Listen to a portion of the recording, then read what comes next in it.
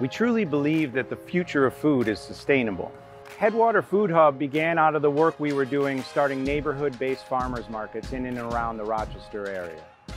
Our innovation has been to responsibly scale this farm-to-table movement and create a values-based supply chain that can feed our community.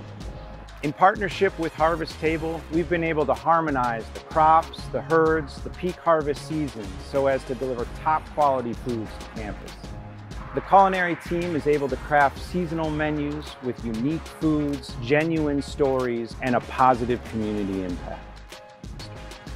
Local food also represents an economy that connects people and moves dollars and retains wealth within a community in a way that helps build jobs, build business, and support the, the economic vibrancy of, of our area.